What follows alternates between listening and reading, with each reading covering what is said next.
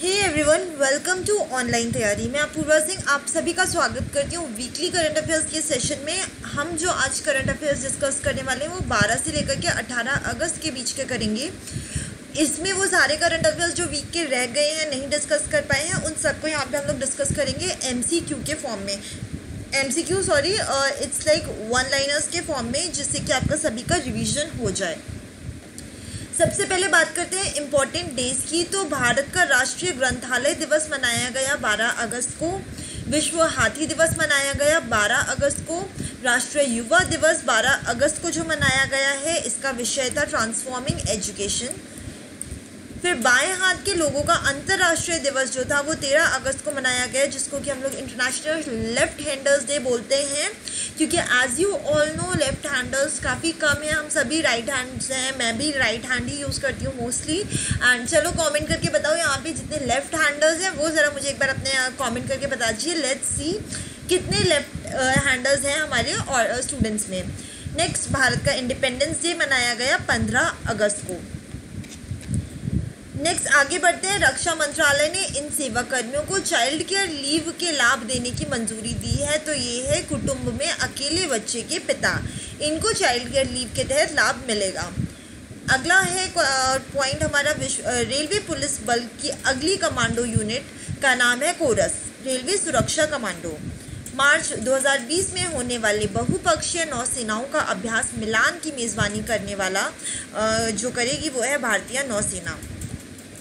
भारतीय नौसेना और ब्रिटेन की रॉयल नेवी का वार्षिक कोंकण 2019 अभ्यास का स्थान है इंग्लिश चैनल। ठीक? अब ये आप लोग देख के बताइए कि ये कहाँ पर लोकेटेड है? ये मुझे आंसर कमेंट सेक्शन में चाहिए।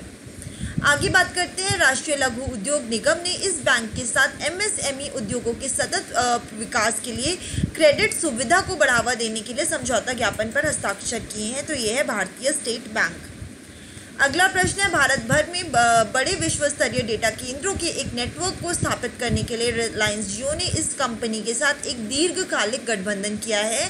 तो ये गठबंधन किया है माइक्रोसॉफ्ट ने। अगला प्रश्न, देश भर में किराने की दुकानों को डिजिटल रूप से जोड़ने के उद्देश्य से रिलायंस इंडस्ट्री का उपक्रम, इसका नाम है रिलायंस न्यू कॉमर्स अगला क्वेश्चन आवास वित्त कंपनियों को गैर वित्तीय बैंकिंग कंपनी मानकर सीधे भारतीय रिज़र्व बैंक की निगरानी में लाने के लिए बदला गया अधिनियम है।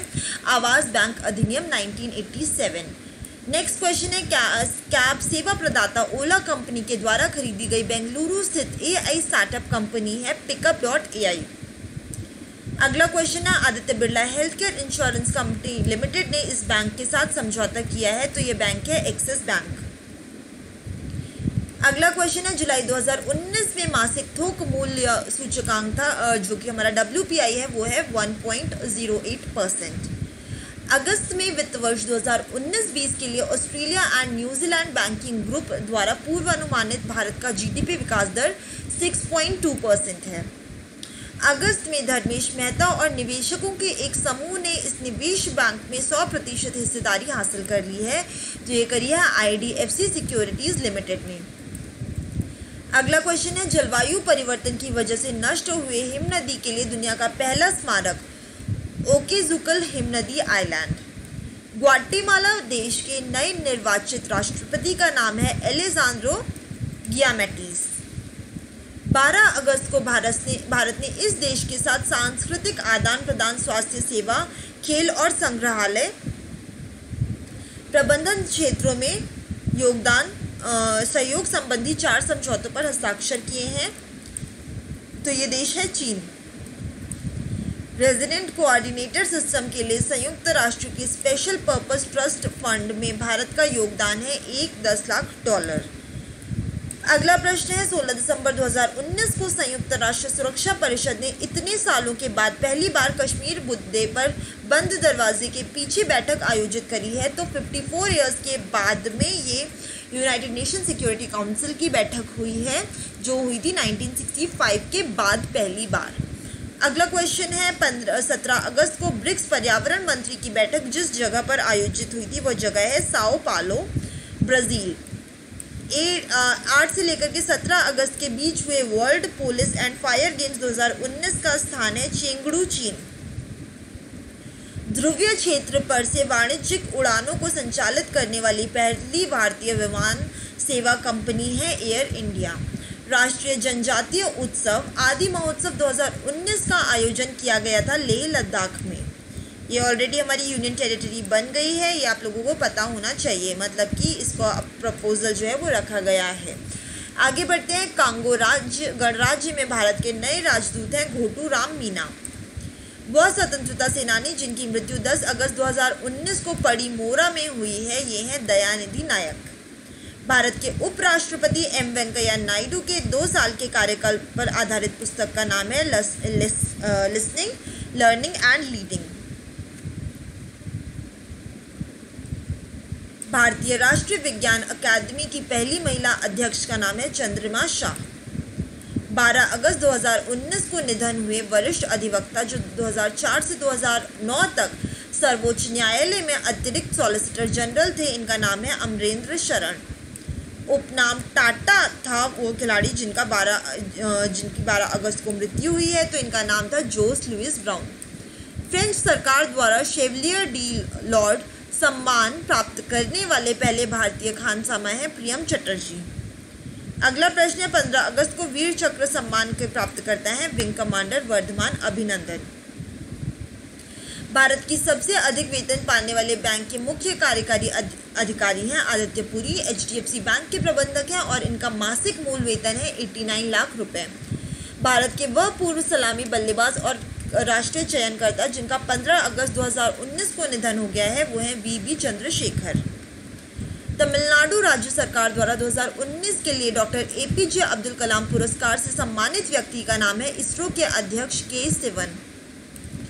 हिंदी फ़िल्मों की पूर्व अभिनेत्री जिनका 15 अगस्त 2019 को निधन हुआ है, वो है विद्या सिन्हा और ज्येष्ठ डीडी न्यूज़ के एंकर जिनका 17 अगस्त 2019 को निधन हुआ है, वो है नीलम शर्मा। भारत के पानी के नीचे चलने वाली पहली ट्रेन होगी कोलकाता की। हुगली नदी के नीचे चलेगी कोलकाता मेट्रो लाइन टू का जो हिस्सा है। तीसरा इंटरनेशनल इलेक्ट्रिक व्हीकल कॉन्क्लेव आयोजित किया गया मानेसर, गुड़गांव में। भारत की C R I D I और अमरीकी सी बी आर आई की संयुक्त प्रतिवेदन के अनुसार यूनिकॉर्न कंपनियाँ बनाने के संदर्भ में दुनिया में भारत का स्थान है चौथा। भारत के C R I D I और अमरीकी सी बी आर आई के प्रतिवेदन के अनुसार स्टार्टअप के लिए बड़े गंतव्य के रूप में दुनिया में भारत का स्थान है तीसरा। अब यहाँ पे आप लोग ध्यान दे लीजिएगा। कंफ्यूज मत होइएगा कि यहाँ पे हम यूनिकॉर्न कंपनीज़ की बात कर रहे हो यहाँ पे स्टार्टअप्स की डेस्टिनेशंस की बात करी जा रही है। मध्यस्थता और सुलह संशोधन अधिनियम 2019 के प्रावधान के तहत स्थापना की जाने वाली मध्यस्थता परिषद के अध्यक्ष भारत के प्रधान न्यायाधीश होंगे। अगला प्रश्न है, प्रख्यात सामाजिक कार्यकर्ता और पद्मश्री पुरस्कार से सम्मानित व्यक्ति जिनका 17 अगस्त 2019 को छत्तीसगढ़ में निधन हो गया, इनका नाम है दामोदर गणेश बापट। नेक्स्ट क्वेश्चन की तरफ़ बढ़ते हैं तो अगस्त में नेशनल एंटी डोपिंग एजेंसी के दायरे में आने वाला क्रीड़ा मंडल जो है, भारतीय क्रिकेट नियंत्रण मंडल। रोजर कप 2019 में पुरुषों के एकल प्रकार के विजेता रहे हैं रफल नडाल स्पेन के। F I M world cup 2019 को जीतकर मोटर स्पोर्ट्स में विश्व खिताब जीतने वाले पहले भारतीय हैं बाइकर ऐश्वर्या पेस ऐश्वर्या पे पी से जिन्होंने ये जीता है। अगला प्रश्न है, इस राष्ट्रीय महिला खिलाड़ी संघ ने अपने सत्रहवें टी ट्वेंटी अंतर्राष्ट्रीय खेल को जीतकर एक विश्व रिकॉर्ड बनाया है। तो ये बनाया है थाईलैंड ने। मॉन्ट्रियल ओपन 2019 में पुरुष एकल टेनिस प्रतियोगिता के विजेता रहे हैं रेफेल नडाल स्पेन से। अगस्त 2019 में प्रकाशित एटीपी टूर पुरुषों की टेनिस एकल रैंकिंग में पहला स्थान प्राप्त किया है नोवाक जोकोविच ने, जो कि सर्बिया के हैं। अगस्त 2019 में प्रकाशित एटीपी टूर महिलाओं की टेनिस एकल रैंकिंग में पहला स्थान प्राप्त किया है नाओमी ओसाका, जो कि जापान से हैं। एशियाई एथलेटिक्स एसोसिएशन के एथलेटिक एथलीट्स कमीशन के भारतीय सदस्य रही हैं P T. Usha athletics association के एथलीट्स कमीशन के प्रमुख रहे हैं एंड्री अब्दुल्लाइवे जो कि उज्बेकिस्तान के हैं। अगला क्वेश्चन है, वो भारतीय न्यायमूर्ति जिन्हें फिजी के नए सर्वोच्च न्यायालय में न्यायाधीश के रूप में नियुक्त किया गया है, Madan Lokur.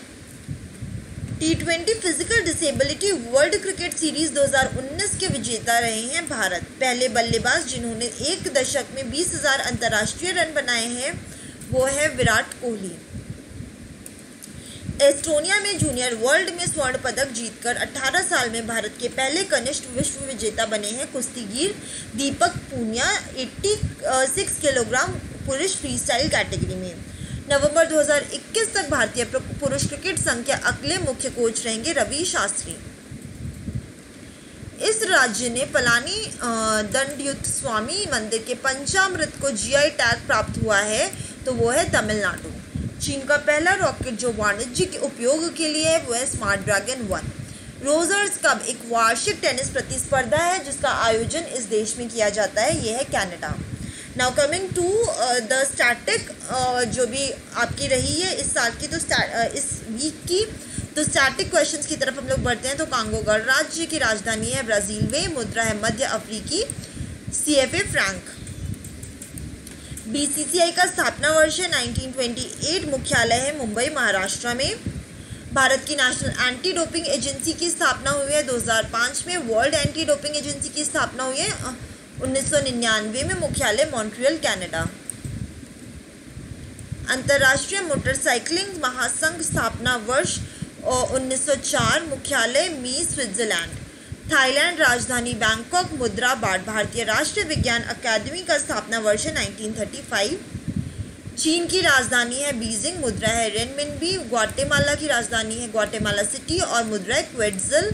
फिजी की राजधानी है सुबह और मुद्रा Fijian dollar Asia athletics association का नया मुख्यालय है बैंकॉक थाईलैंड में और फ्रांस की राजधानी है पेरिस, मुद्रा है euro euro C F P franc. RBI का स्थापना वर्ष है 1935 संयुक्त राष्ट्रीय सचिवालय के अंतर्गत स्थापित किया गया नया विशिष्ट कोच कोच जो रेजिडेंट कोऑर्डिनेटर सिस्टम के सभी योगदानों को पारदर्शी तरीके से प्राप्त करने और प्रबंधित करने के लिए स्थापित किया गया ये स्पेशल पर्पस ट्रस्ट फंड संयुक्त राष्ट्र का स्थापना वर्ष है 1945 मुख्यालय है न्यूयॉर्क शहर अमेरिका में। भारतीय रेलवे का स्थापना वर्ष है 1845 और संयुक्त राष्ट्र सुरक्षा परिषद के सदस्यों की कुल संख्या है पंद्रह। तो that's all in today session I hope students आप लोगों को सेशन पसंद आया है। अगर पसंद आया है तो लाइक ज़रूर कर दीजिएगा और शेयर भी कर दीजिएगा अपने सभी फ्रेंड्स के साथ में. Thank you so much guys for watching